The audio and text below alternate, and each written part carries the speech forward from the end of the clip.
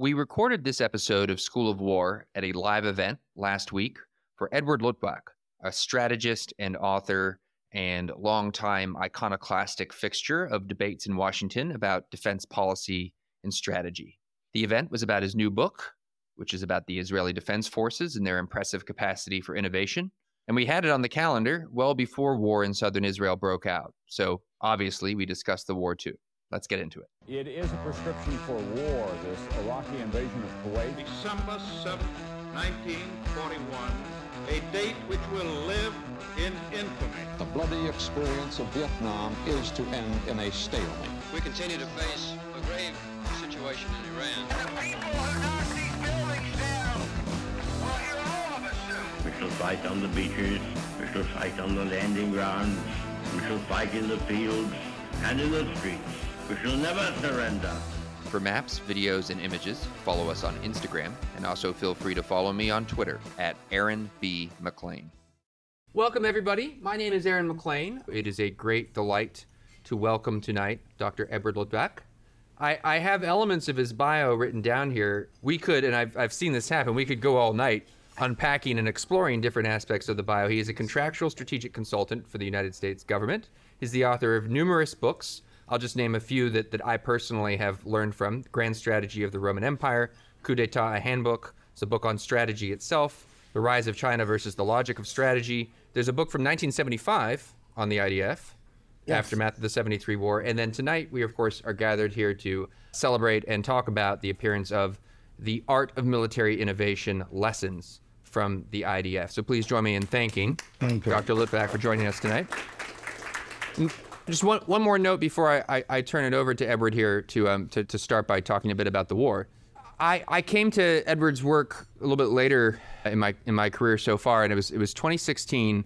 So you have you know Trump and you have Brexit and all this kind of stuff going on. And I saw on Twitter, what was then Twitter, someone tweet an article by Edward. It was about right wing populism, and my my immediate response was, well, okay, tell me something I, I don't know. It's hardly breaking news in 2016 that right wing populism is uh, is alive and well. And then I looked at the date on the article, which appeared in the London Review of Books. It was 1994. And that really was, I think, a bold prediction in 1994. And Edward has a, a record of bold predictions that turn out essentially to be accurate. So with that, you know, we're gonna we're gonna talk about your book, sir, obviously. But before we get to that, your your book is about how the IDF is this source of innovation to be to be imitated. And I'm curious. Just I'll start you with this question: In the aftermath of October 7th, you know, what what role, what share of the responsibility does the IDF bear amongst other elements of the state? How do you account for that? And uh, how's the IDF doing now? Well, the book is not about Israeli military history or what they did in the past or the present. The book is strictly about research and development. It's it's about why you can develop a system like Iron Dome, which is a perfectly normal radar, perfectly normal software, an interceptor, which is a bit cheap but otherwise perfectly normal, except to do it in four years. If you do it in four years, you do not have to do what we do with weapon system development, which is that you have to you you work for five years and then you have to stop because all the microprocessors have changed. You go backtrack, then you go forward again, and you go sideways and so on. So the Israeli method of development is high-speed development. It's a different method. That's what the book really is about, and how they are not trying to absolutely minimize waste, fraud, or even mismanagement at all. What they're trying to do is to get a weapon system developed quickly so that you put it in a field and you can start improving it instead of being in an ever never ending thing. And one. Secondly, the other thing is that they're willing to learn from others. For example, the heart of the F 35 is the so called helmet mounted display, which is, as I'm sure you know, is not a helmet mounted display at all. It means simply you put this thing on your head and you can see below your aircraft because there are all these visuals outside. So sideways, you can see back, forward, and you can direct a missile by looking at the target and signaling, and the missile head turns so that the missile gets launched right off the airplane without waiting those long minutes before the whole airplane turns and all that stuff. All of these where did they get this from? They got it because it, when the East German government collapsed, the West German Air Force inherited some MiG 29s. The Israelis knew that the Syrians are getting MiG 29s. So they were very, very anxious to go. The Germans were very nice to let them go into this airplane. The first thing they saw there was a helmet mounted display. It wasn't the two and a half million dollar splendiferous Technicolor, beautifully painted thing, but it was that thing. And they immediately, frantically tried, started to copy it, and they developed it and for their own sound. And the U.S. Air Force, in the meantime, even though the Army had such helmets, for the helicopters, the Air Force couldn't care less. And also, the Israelis reported that the MiG 29 is a fantastic aeroplane. It's an interceptor. It goes right up, it will shoot things down and so on. They, I read the whole U.S. report on the MiG 29, U.S. Air Force report. Well, the paint wasn't very good. Secondly, the radar screen was dim. And then they pointed out, of course, it doesn't have long range because the engine drinks a lot. But it's an interceptor, so it's not supposed to have long range unless the plane is defecting. You know, it's supposed to get off and shoot down a bomber. The report was not an attempt to find out about Soviet technology. It was to explain why Soviet technology is a rubbish. Okay, so that's the difference. Okay, so it's high-speed development, willing to learn around, and open door. There are two footnotes in the book about open door me. Okay, one is when I was visiting. It, I was a tourist basically. 1970, I was a tourist and they lost a RF-4, a two-seater, two-engine Phantom to take pictures across the canal. So I went immediately went to the Ministry of Defense to see the chief scientist and to tell him that in Switzerland, my rich relatives in Switzerland had just bought an airplane for their kid that could fly 50 kilometers, and you could put the dangle camera on it. So who did I tell this to? Well, the chief scientist, who was a mathematician, Corey Duretsky. How do I get to see him? I went to the guard outside, the guy, keep it, you know, the soldier outside, and I said, I want to talk to the chief scientist. Said, why you want to talk to the chief scientist? So I'm not telling you, because it's a secret. and so the guy picks up the phone, calls the office. Chief scientist says, come right upstairs. Okay, that happened when I was a kid, long time ago. Then, four years ago, I was in Israel on holiday with my wife, and I got, they invited me to do to go and visit the Hezbollah village built on the side of Mount Carmel, which is a full reproduction containing all the rockets, everything. And I said, how, how do you get into the tunnels here? And the guy says, oh, well, Sayeret Agaz, you know, specialized unit. You put ropes under the arms. We're going to lower him into the thing. He has an Uzi, he'll shoot. And I said, forget it. I said, the way to do it is to drill holes there. We're using RPGs. The, the Russia makes wonderful RPGs. They're very cheap. And all we take is an M113, which is this boxy, useless troop carrier. The Israelis have thousands of them, and they're selling them online, by the way. Or where? How much? I, I, don't know. But they, they, they, were getting rid of them. I said, we take this, we put a Marlboro box, a Marlboro cigarette type magazine in the back, and a little arm to pull them out, dangle them to get things, and we start drilling holes. We don't know where the tunnels are, but the, the fact is the villages are quite compact. They're between the houses. These things are very cheap. Let's do it, and so on. Again, I was I was there on a on a family thing. I, I say this thing on Mount Carmel. I tell these thoughts of mine to the brief to the escorting officer who was just a general purpose lieutenant colonel infantry reserve, and next morning people showed up at the hotel.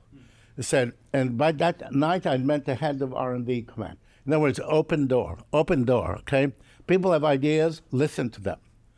Open door is very important, and, the, and in this country, open door would do much more. There is no open door.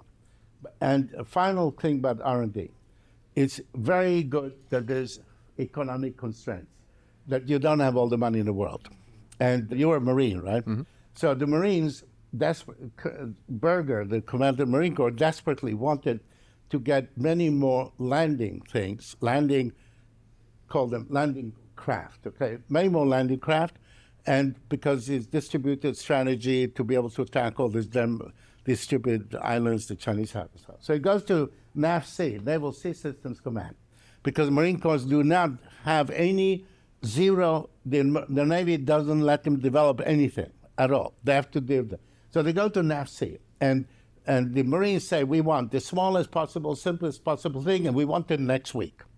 Okay, and it was called the Light Landing Craft, and they was advertised. They were very proud. They got the price down to 100 million dollars.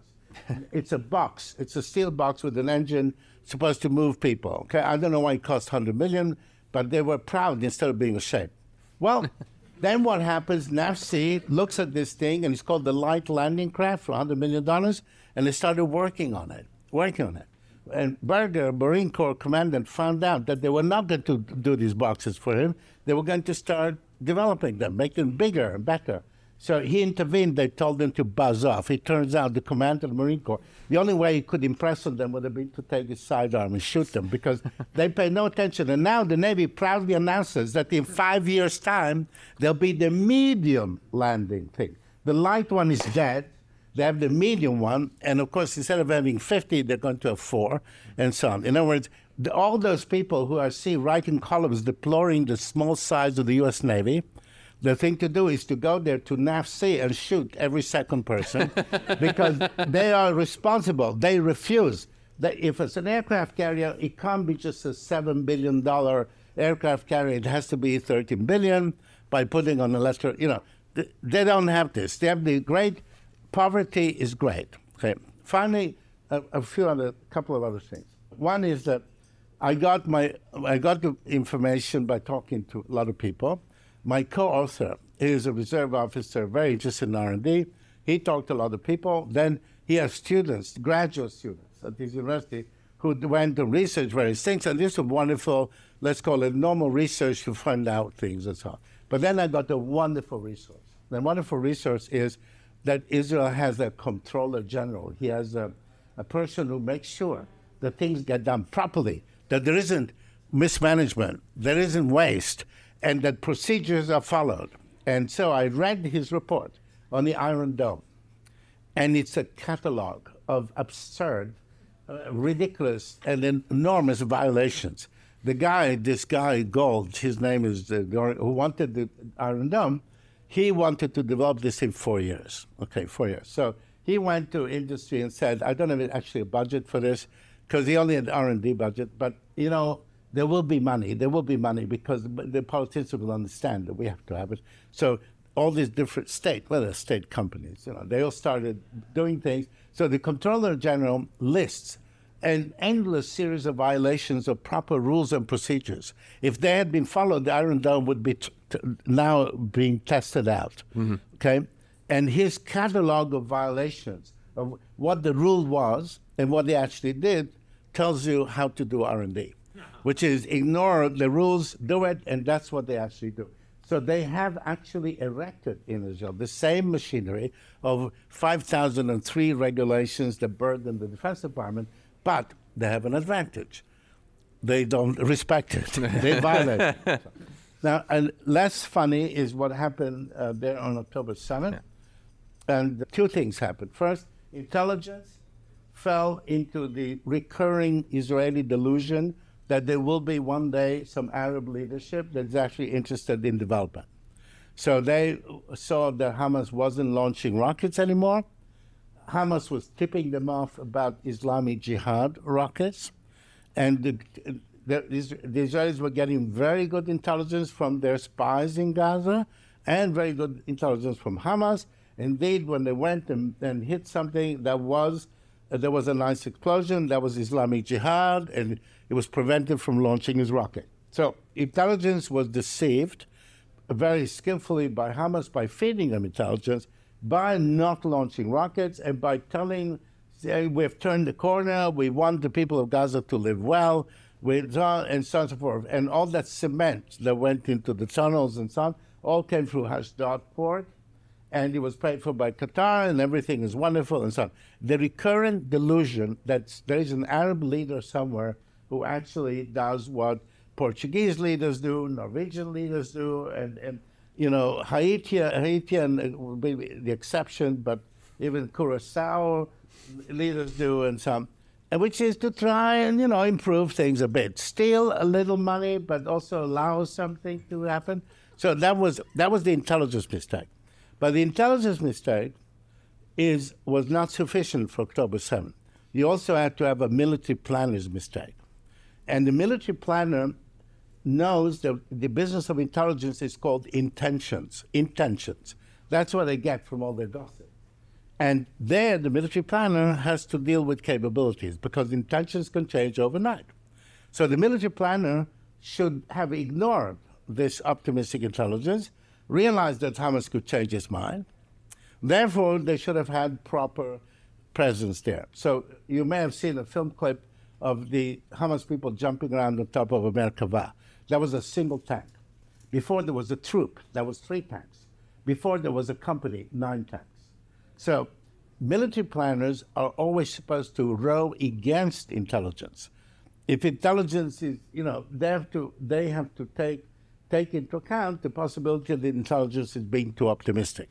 That's what they're paid for. And they didn't do it. They didn't do it at all because they had slimmed down all these presences. So, for example, the observation, all the observation was done by these observation towers, their points, and they were manned by a single soldier who happened to be a female because females are supposed to be more attentive. A single girl. That's all there was. When Hamas attacked these towers, there was a single girl in there. Now, if you think that this is unusual, it's not. I was in, I'm a very, very old guy, and I was in the 73 war. I crossed the canal, I had the best time, ate a lot of French cheese because one of Arik Sharon's admirers sent a truckload of French cheese, which was stinking up our troop carrier, so we had to eat, you know, brie and all that stuff, cross the canal, had a great time. But that war, how did that war start? They had 22 forts along the canal. These were not supposed to be real forts, but just outposts, you know, 22 outposts. Each outpost was supposed to be manned by like, uh, let's say, a platoon. Let's call it 25 or something, not a full platoon.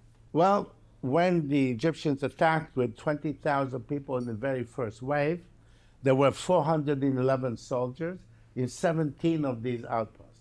There was only one outpost that was fully manned up to stand, and it never fell. It never fell right through the war. All it had was it had a platoon instead of having four or five guys, and it resisted. So in other words, if people go out and build a state, they're going to be optimists. They're going to be optimists and they're going to be risk takers.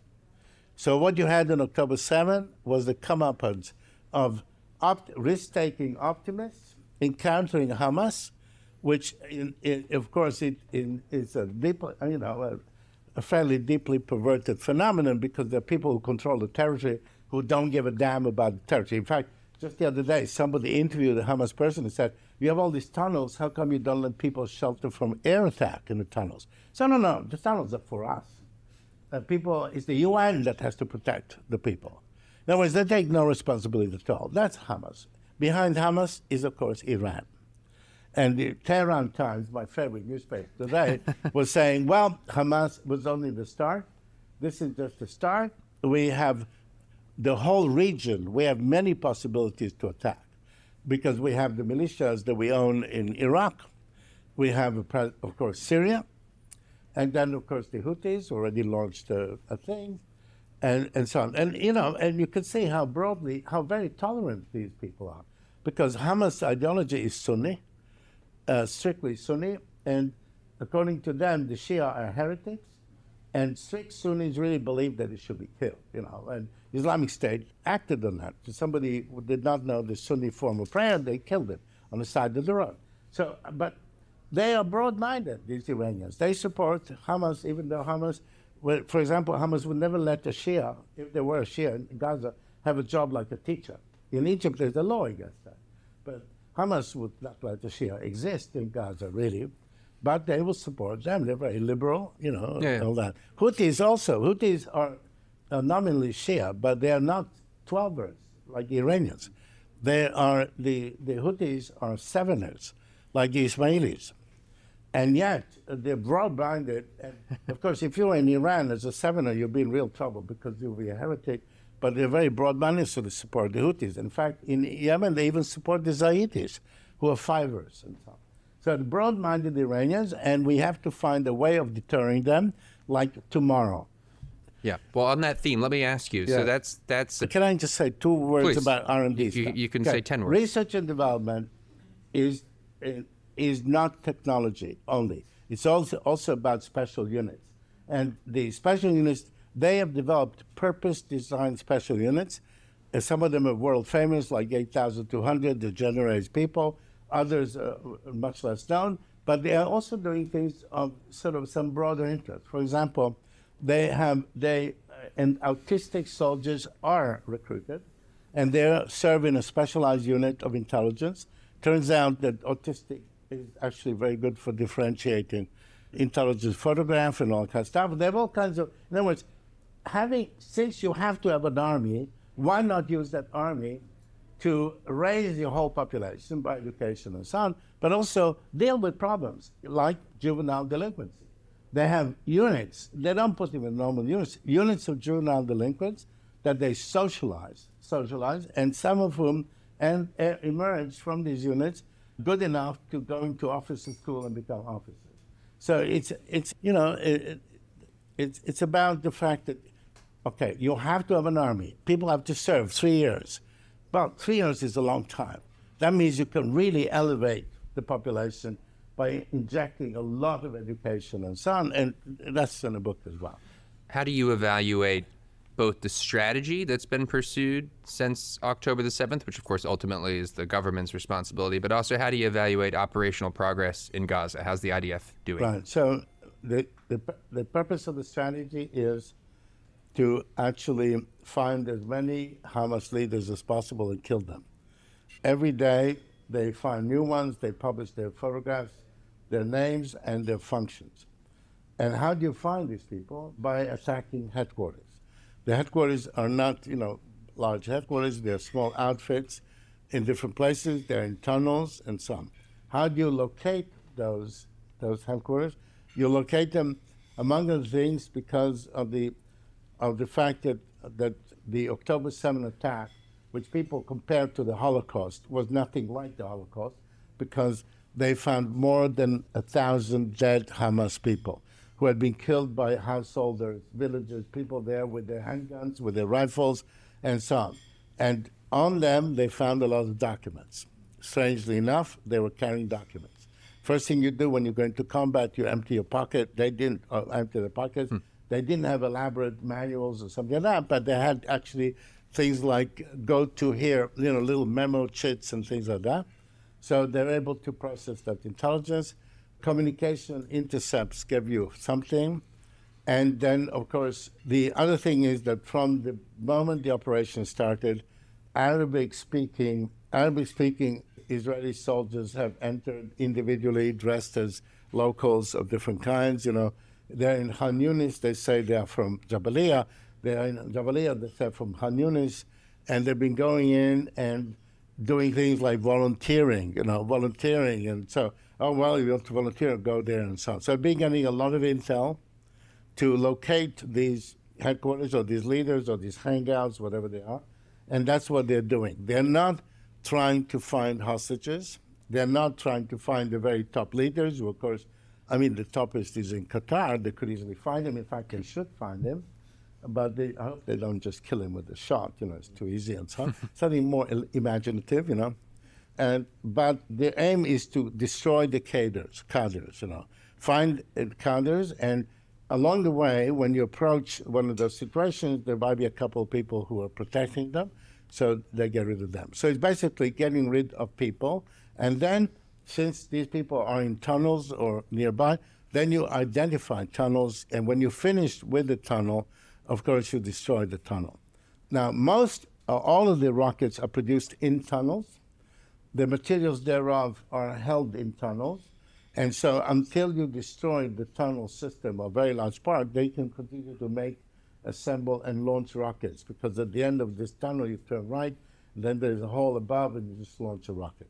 So that's what the operation is. It's strictly detail, detail operation. It's infantry, and the Israelis are doing it at the pace, and what they're not doing is to do, you know, rushing forward sure. and so on.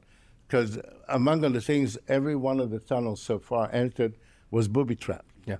Yeah. Well, let me ask you about the pace then. I mean, I, I find myself worried. I assume a lot of folks in the room are worried because there is a window, I think, internationally that will ultimately close in terms of sympathy for the Israeli cause, in terms of American support, this administration support, I should be more specific, uh, for what Israel is doing. You already hear calls for a pause, which there's no such thing as a pause, just a temporary ceasefire. So there are already calls for ceasefires. The deliberate pace may have very good operational justification, as you just cited. But it's, you know, you, your book is about this sort of spirit of, of innovation and daring and surprise. Whatever is happening right now seems sort of linear and deliberate. Right. Okay. So they, they, are, they are looking at the clock, okay? For example, they can accommodate the pauses, no end pauses, by simply making them localized. We have a localized pause here for you to do this, like remove people, or to you know bring supplies to a hospital. They can do localized pauses. They, this is not a World War II air bombardment of vast areas. These are single targeted bombing, so they can accommodate the pauses. That's what they figured out they can do. As for deliberation, the deliberation is they're not deliberate in the sense of, you know, World War II, let's postpone D Day by a, a, year, you know, so we're better prepared. We're talking about deliberation about sort of running in versus rushing in, you know, and they are losing soldiers along the way. They know they're going to lose soldiers. This war will not be fought without losing soldiers. But uh, what my understanding is that they, they, as soon as as uh, President Biden talked about pauses, that was their solution. Localized pauses. That's how you manage it. Now, as for losing support, the way to gain support is to be a victim. So I'm afraid there's a limit to how much you prioritize, you know, having support. You're willing to go without support, lose support along the way. And so, but so far, interestingly enough, support has been maintained much more than anybody could have expected from a range of European governments. The only European leader I talked to is Meloni, who is an old friend of mine, as it happens. I asked Meloni, I said, Meloni, when will the pressure on you be that you have to switch and start deploring what's going on? And says, says, only the church is bothering me. I don't care about them of the far left. I don't care, of course. You know, the Carabinieri can deal with them if they assemble. But the church bothers me all the time. The church, you know, the church really loves Palestinians, it turns out. So, but she is not a churchgoer. Hmm. You know, I mean, you know, she's a woman who has a child, never bothered to marry. So they picked the wrong prime minister from that point of view in there.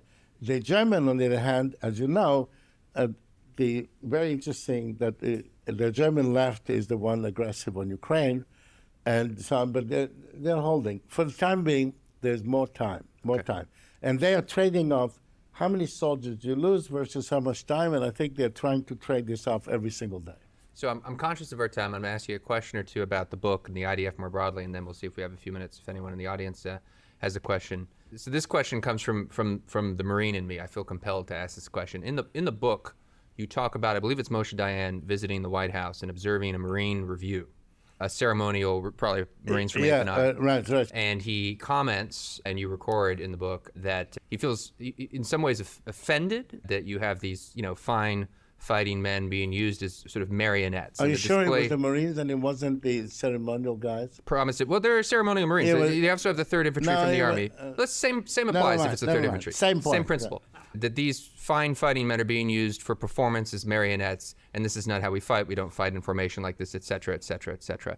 And that's all well and good. And I confess, the times I've been around the IDF, uh, all after my Marine career, the informality of the IDF, which you you make a strong case for in the book, makes me uncomfortable and and the case you would make for the kind of very visible performance of discipline you see in a place like the Marines or certain units of the U.S. Army is here. I'll make I'll make a, a, a 15 second version of it. Standing post is one of the hardest things any soldier will ever do because the most most of the time you stand post, nothing will ever happen. You might go years, you might go a whole career with nothing ever significant happening as you stand guard. And yet, when something does happen, you'll have seconds, maybe a fraction of a second to react, which requires extraordinary vigilance, vigilance, excuse me. And how do you generate that vigilance without the kind of culture that's created at a place like, say, Parris Island? How, how does the does the IDF, for all that it gains from this culture of discussion and debate and uh, everything that there are clearly virtues to, are there are there also drawbacks to it? You at the end of the book, I actually have an eyewitness involving Beirut, 1982. I was in Beirut, 1982, and I, I was actually visiting a friend of mine who was there, uh, in one of the units, and some, suddenly I see a group of Marines who have landed there. They've landed there because Cap Weinberger wanted the Israelis out, and he, and he didn't want any cooperation at all between Marines and Israelis because that was the whole idea mm. politically and so on. So there's this Marine lieutenant and some other guy. They're looking for an Israeli officer because they were just trying to liaise. They just arrived. And I look around and I see the Israeli officer. He's sitting on the ground with his soldiers, with his back against the wall, and he's eating out of a can using the can opener with David as a spoon. He has no thing. Mm-hmm. And and his his hair is wild. He's unshaven, and his uniform is you know all messed up, just like his soldiers. So the Marines, they they I could see on their face their disgust at the idea that an officer is sitting on the ground eating out of a can. The next thing that happened is that there was some shooting started. So immediately these guys got up in in a tactical pose all around the officer. They're all alert. They hold their weapon and they're ready to do it. So the Marines went through both, and I mentioned this because I asked them. I, I, said, "I said you were disgusted when you saw these guys sitting with their backs against the wall, completely like that, making no attempt and so on. But they're tactically responsible. The the mess and the mess and and outward indiscipline and all that are all part of an inseparable culture. And I read, read the conclusion. I write about it because I got some fantastically good data. There was a, a reserve unit which specialized in getting people who had served in foreign armies. And so this officer commanding interviewed these people about the Israeli army. And all of them agreed they'd never been in their lives in such an absolutely messy, confused, disorganized, chaotic organization like the Israeli army. And then one of them got up and said, You know, I was the South African army. And as we were, every time we were moving into Angola, every night we stopped, we established a camp. The camp was all arranged, aligned, and we painted in white the entrances and so on. And it took us six months to realize that the insurgents were using our self delineation and so on.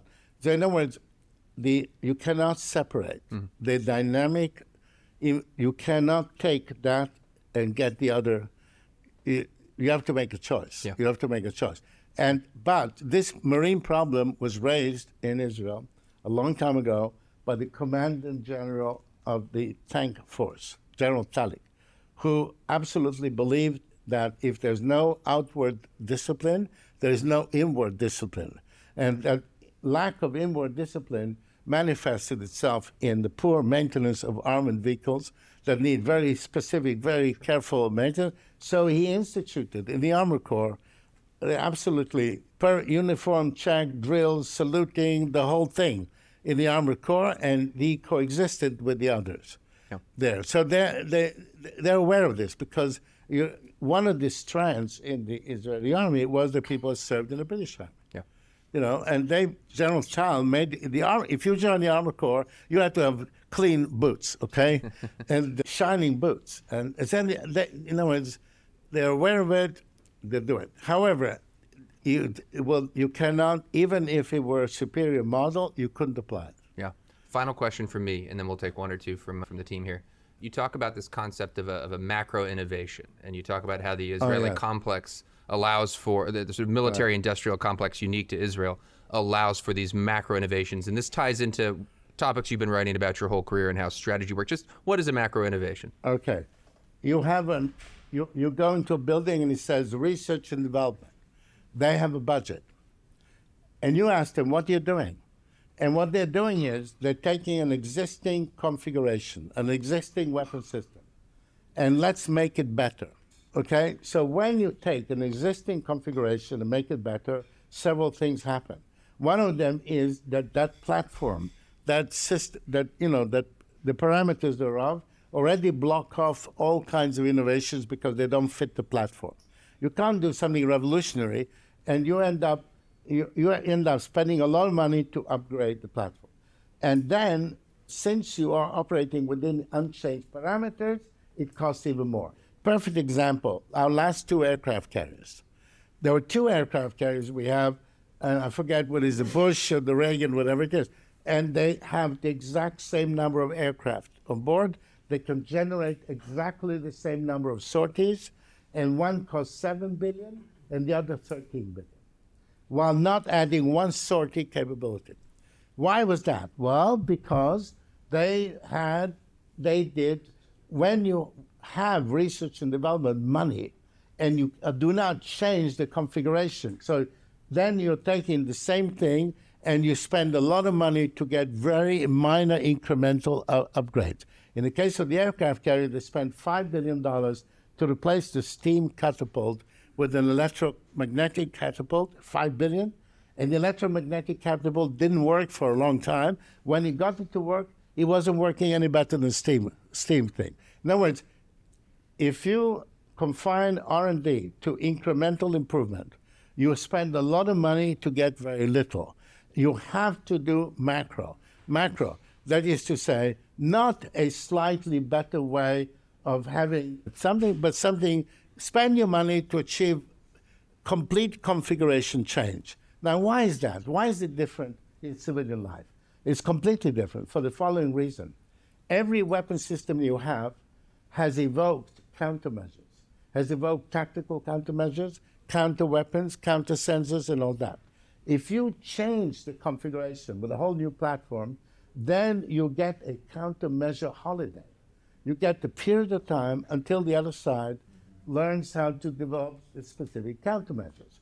If you remain in incremental improvement and not jumping, then you, you, you don't get the countermeasure holiday.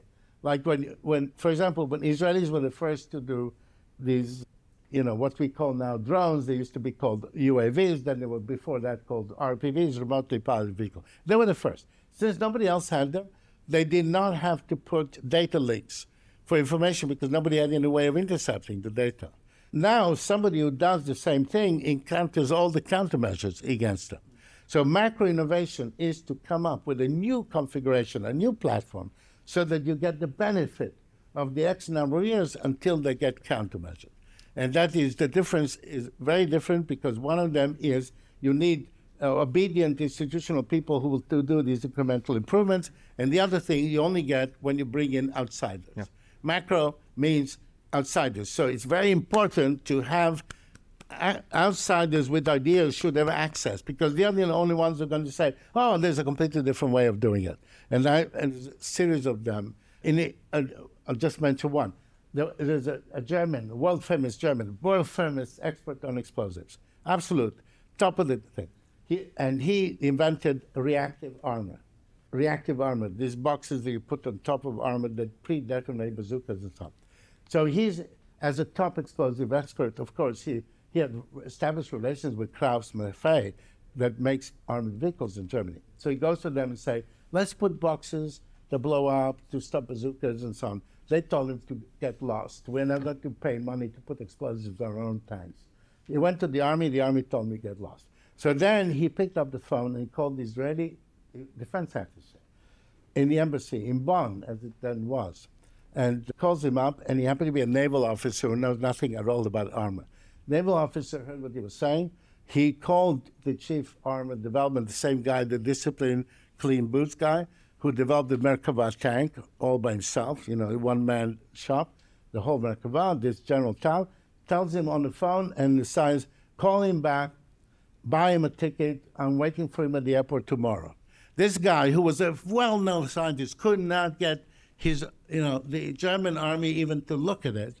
He's flown to Israel, and the Israelis had these boxes, put them on the tanks, and all that. He also made a lot of money because eventually the Israelis exported them, and he got a royalty on each box. All right, we have time for just one or two, but Dr. Luttwak may stick around when we're done chatting. Cliff May, the Islamic Republic of Iran has a strategy. Your strategist and strategy is essentially to use proxies to fight their wars. So that's Hamas, Hezbollah, Islamic Jihad, various Shia militias against the Americans. It seems to me that we don't see this that, that Israel and certainly the United States does not have a strategy to defeat this enemy that is waging a war against them. Death to Israel, eventually to be followed by death to to America. Constantinople was not destroyed in a day. What would be, what strategy would you recommend to both Israel and the United States? Because You, you can chase the different dogs, or you can go to the owner. Well, Right? And, and, and the way to go to the owner is that the owner happens to be an oil exporter. And he has, he has no pipelines. All his exports by tankers. And the thing to do is to wait outside the Straits of Hormuz. Tanker has Iranian oil, you don't let it through. You, you, see, you sell it. He put the whole U.S. Navy in the Persian Gulf not to attack the Iranians at all, but to defend our friends. So you have the U.S. Navy in the Persian Gulf not touching and not attacking, simply protecting our tank, you know, our friends' tankers so it goes smoothly. Their tankers don't reach destination. And so Cut off their funds. That's maximum. Yes, because the Israelis can only reach Iran and bomb Iran with nuclear weapons. So the Iranians keep talking about destroying Israel. If they destroy Israel, Tehran, Isfahan, Shiraz, Hamadan, they're all going to burn. So, but, said, let it but nuclear weapons are too powerful to be useful. The Israelis cannot deter with nuclear weapons any more than poor Putin can get anything from his nuclear weapons. They're very, they cannot do it. As for conventional bombing, the Israelis can reach and bomb Tehran, but there will be symbolic amounts of, of ordnance, and you couldn't achieve what you want to achieve. So my view is, first, the U.S. government has to be in the business of deterring Iran. They have to do so realistically, not by starting a, a war and all. No, simply stopping the tankers stopping the tankers, cutting off their entire income, because the Iranian economy is not as flourishing as you might think, and so on. I was in Iran three years ago, and I didn't actually go to, to Iran because my friends are not there. And I tell you, the place is piss poor. I saw people were standing all day selling a few ducks on the side of the road. Tabriz itself is not the favorite town of the regime because the Azeris, but still pretty miserable. So you cut off the oil funds, they have no funds to give to them because they sell the oil on Monday and they give the money Tuesday to Hezbollah and to the militias in Iraq and Syria and Yemen. So that's the thing to do. We need to have deterrence. We need to have a way of doing it and not by starting a world war, etc., et cetera, et cetera. Simply stopping the tankers outside uh, intercept them well outside the Persian Gulf, but you have to put the whole U.S. Navy in the Gulf to protect our guys. I gotta ask, how was the visa process three years ago? Do you do you mail the paperwork into the interest section, or how does that? Listen, I don't know that- where you were brought up. I was brought up in Palermo, Sicily. Ah. Okay, so I do not. When I go to countries of that sort, I do not actually use a passport. You know, because you know paperwork, paperwork. Yeah, it's it's a pain. However, if anybody doubts my story, which may sound improbable, I actually, uh, uh, I had with me my, my assistant, who's a Japanese lady, and Japanese are well known for taking lots of pictures. She took lots of pictures. All right, one last one last question. Yes, sir. Hi. Since October the 7th, the role of Qatar as an intermediary um, to release hostages and such has been sort of highlighted. And I've been convinced that, you know, we, those of us on the Israel, pro Israel side of things, I think we are maybe too content with, like, how is it that this country, how is it that we are okay that they are friends with the terrorists and they can get us a few hostages, yes, which is good. But should it, like, shouldn't, is it, isn't it time for our side of the, the fight to reevaluate how much we tolerate the Qataris and all their shenanigans? So I forget when it was, but the Saudis asked the U.S. military to leave the soil of the kingdom. They went to Qatar and established a base. That base is a comfortable base. Qatar is on the water. Everything goes fine. And so they accommodate. Then they have, of course, always had Al Jazeera, which is the old Nasserists, the old Arab nationalists, and super anti-West, and, and everybody. So, so, so don't talk to the Saudis about the Qataris, because the Saudis would like to go there and squash them. Just get rid of them, the whole lot of them. They're, it's a bunch of upstart, out of fringe Bedouins. They're, they're so-called royal family. There were people who had, the other guys had one camel, that, you know, they had two camels, so they became the ruler, okay? These, so Qualitative military The edge. Saudis wanted to sweep them off the board. okay? What happens is they accommodate the Iranians, they accommodate Hamas. They, of course, had the Mossad office in, in Doha a long time. And the people in Doha probably put on weight also. So they, uh, they serve everybody, and the Qataris are open to the Israelis. The, I mean, they, they have a Mossad office in, in Doha, you know, and they have the Iranians there, the Americans there, and nobody wants to hit them because everybody has the same. However, you might conclude if, you, if somebody were doing foreign policy in the United States, there may be such a person, I have not heard of him yet, they might conclude that the negatives are worse, uh, are worse than the positives. But for example, in regard to cement, the cement of the tunnels was brought into Ashdod port. And who gave permission to bring it in? The Israelis. Who paid for the cement? Qatar. Why was the cement brought in? Well, because these poor Palestinians live in refugee camps, like the Jabalia refugee camp I've heard about a lot in the last few days. You know, the pictures don't look like a refugee camp. You don't see a single tent there. Maybe is there some kids practicing tramping behind one of these apartment houses?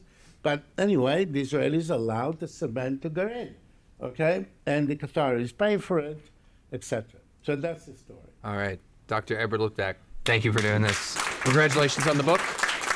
Thank you, sir. This is a Nebulous Media production. Find us wherever you get your podcasts.